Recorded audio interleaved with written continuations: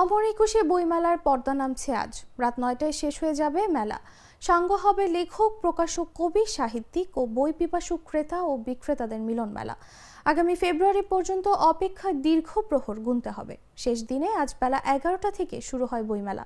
তবে সকাল দশটা থেকেই রাজধানী সহ দেশের বিভিন্ন এলাকা থেকে পাঠক ও ক্রেতারা পরিবার পরিজন নিয়ে বাংলা একাডেমি ও শহীদ সোহরাওয়ার্দী উদ্যানে আসেন। দুপুর গড়াতেই বাড়তে থাকে ক্রেতা। করোনা ভাইরাসের সংক্রমণজনিত কারণে অমর একুশে বইমেলা এবার কিছুটা দেরিতে শুরু হয়।